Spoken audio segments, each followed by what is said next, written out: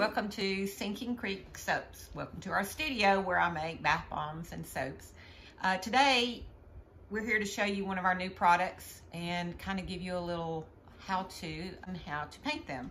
We have uh, some bath bombs here, and this is one of our kits that we're offering, and it'll have two bath bombs in it, and this is a unicorn and a mermaid tail. Uh, you may have a kit that has something else that's in it, but you'll treat them the same way, okay? So in our kit, we have two bath bombs. We have um, six colors here of paint.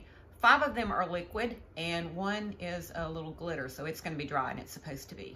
Now, if you, maybe you've gotten this kit and you set it aside, you forgot about it, and, and for whatever reason, this may have dried up, it's probably not going to happen, but if it does, you can reconstitute it with alcohol, preferably like a 95% rubbing alcohol. So that's real easy to do, okay? And you'll also have two brushes in here just in case you want to do it with a friend or at a party or something. Um, lay out maybe some paper towels um, and get you a nice clear workspace to work on. And you're also going to take one of these paper towels uh, for each of you who are painting, if there's more than one of you. And just take a paper towel and fold it in a square. And I'll show you how we're gonna use that in a minute. The next thing we're gonna do is open our bath bombs. And you may wanna get a grown-up to help you with this. These are shrink wrapped, so sometimes they're a little hard to open. I'm gonna show you how I do it. But before I do any of that, I'm gonna change the camera angle so you can see what we're doing here. Did I introduce you? Nope. Aw, I'm so sorry. This is Amy. She's my daughter-in-law, and she's gonna be painting one of the, she's gonna paint the unicorn bath bomb because she wants to. So we're gonna let her paint the unicorn today. So let me change this camera and then we'll get started, okay? Okay, so you can see our work surface here. Remember, we've got a paper towel down. We've got a folded paper towel here. Amy, you need a folded paper towel. Mm-hmm. I do. There you go. All right, first thing we're gonna, well, no, let's do this first. Sometimes these paints wanna, it's a little bit hard to open these. So go ahead and open your paints first because you don't wanna try to open them while you're painting um, because you might splash them everywhere. I need to save the glitter for later, huh? Yeah, I would wait. Open these paints. They've got, oh, sorry. It's got two little tabs here. Hold down on one tab and then pull up with your finger on the other one. And it, this may be something you need to get a grown-up to do as well, okay? Mm -hmm. Okay. Did that work for you? That worked for me. Okay. All right, might take a little bit of work, so. But the reason I want you to open them first is because you don't want to, you don't want to spill them while you're painting. You got yours open? I need, I need help grown up. Oh, gosh. I got one open. I'm ready. The next thing we're gonna do is open our bath bombs. Now I have a letter opener here, but you can use a pair of scissors. Again, get maybe get one of your grown-ups to help you with this. These letter openers are great if you have something similar. Um, and I, if you could find a little place where there's air and not a bath bomb and just kind of slit through that, then it's real easy to kind of make your way through here and get that opened up. Amy, you want to open yours mm -hmm.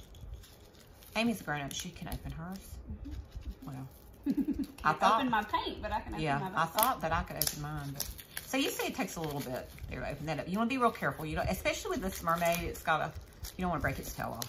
So, um, oh, and I got way over here. All right, got my bath bomb open. I'm gonna lay it right here.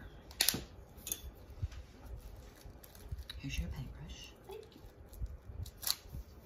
If it has a little bit of dust on it, you can dust it off. You may see some little color through here. That's because they've got a little surprise color inside. oh boy. What? All right, and you've got your, all right. So what you don't want to do is you don't want to put a whole lot of liquid on here because it'll activate that bath bomb and make it go ahead and fizz. You don't want to do that yet. So what you're going to do is um, take one of your colors, whichever one you want. Kind of mix it with your paintbrush there. Mix that up. Um, see how it gets, uh-oh. See how it gets kind of um, pearly looking? Is that a good word? Mm-hmm. Pearly? Mm -hmm. It is. And anyway, uh, so make pearlescent. That's a great word.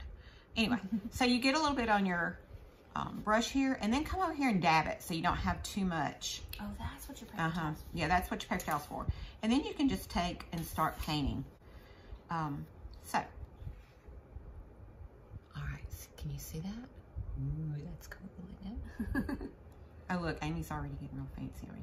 So, we're gonna go and and and put this in um, What are we putting it in? Time lapse. Mm-hmm. We're gonna put this in time lapse and get our bath bombs painted? Okay,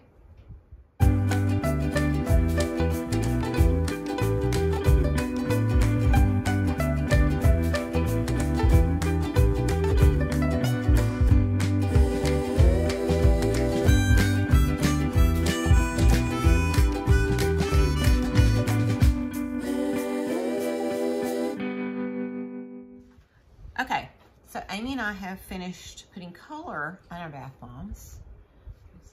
Amy's got a unicorn there. So now, now it's time, if you want to, to put a little glitter on it. And the, remember the glitter is dry. Make sure you've wiped your brush off a little bit and then just dip it in that glitter and you can just brush it over the top. And it doesn't take a lot.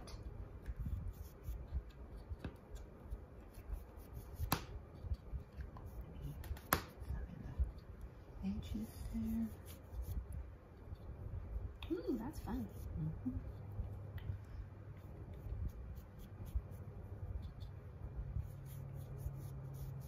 All right.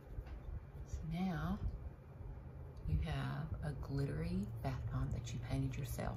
Now we're gonna stop and um, take them inside and run a hot tub of water and I'm gonna show you what else they'll do when you put them in the water, okay?